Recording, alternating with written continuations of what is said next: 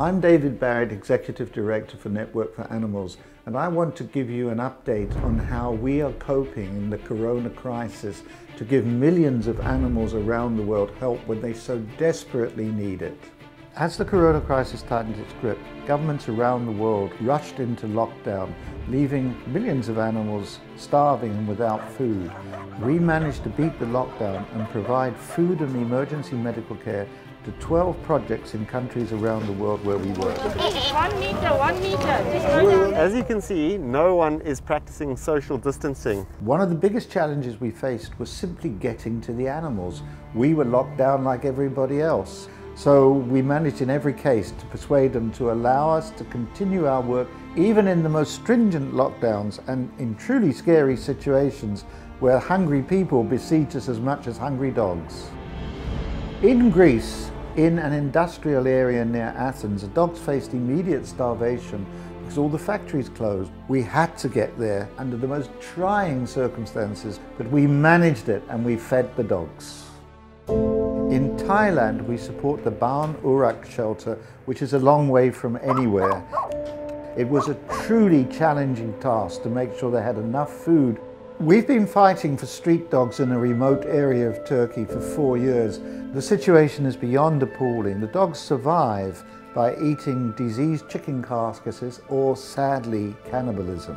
We managed to get five months supply of dog food stockpiled in the area for up to 10,000 dogs that need it. We believe that every animal life matters, and in Jordan, at a shelter we support there, the COVID crisis made it almost impossible to get a specialized metal plate for a dog to have an emergency operation. We managed, we found one in England, and we got it to Jordan. The operation was a success. Good girl. We save animals one animal at a time. One of the grimmest and most dangerous places we work are the townships around Cape Town in South Africa.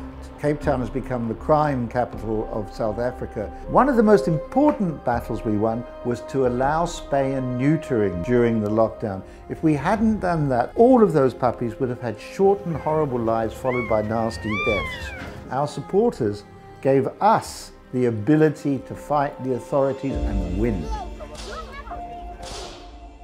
One of Network for Animals' major campaigns is to rescue donkeys from the Chinese donkey skin trade, which is seeing them wiped out at such a rate that they could soon be extinct in Africa.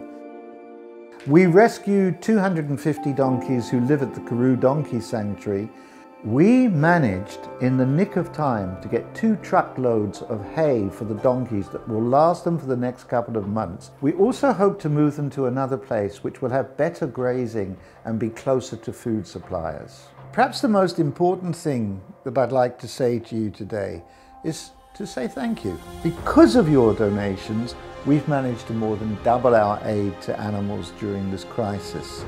We've never faced a challenge like this we are inundated with pleas for help every single day. Animals around the world are in an unprecedented need at the moment. We get down on the ground where the animals need us most. And I want to tell you, without us, countless animals would suffer horrible, horrible deaths. Please, if you possibly can, donate to Network for Animals today. I promise you, the money will go to look after animals who desperately need it.